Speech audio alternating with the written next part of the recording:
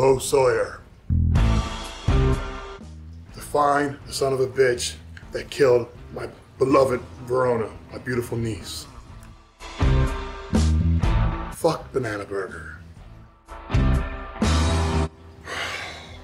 A bunch of imbeciles. What can I say? Who killed my niece? I can only assume it was a either Charlie Graves or some other son of a bitch. I just came up there. I saw her laying out on the ground. And I just can't get that image out of my mind. Keeps playing over and over. Charlie Graves, this rotten son of a bitch. His skin's peeling, and he's freaking short. And I can't believe he got the best of him. One bullet at a time. I got, I don't know, let's see, a mag here.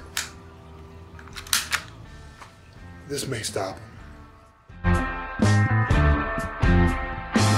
Then I go back to what I was doing before, hunting down other assholes, killing them, putting them away.